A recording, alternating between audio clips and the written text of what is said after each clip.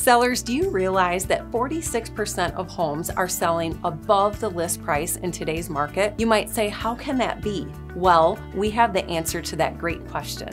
When you list your home with Castle Rock Realty, our agents price your home according to market conditions.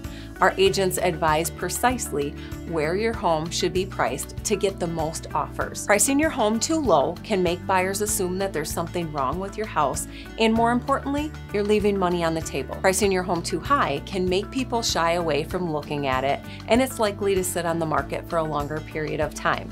However, pricing your home right will generally lead to tremendous buyer interest and demand. In fact, by pricing your home right, you typically draw in multiple offers, which puts you in a great position as a seller. A multiple offer situation generally leads to an over list price offer. Contact one of our experienced agents today at Castle Rock Realty to discuss your home's value.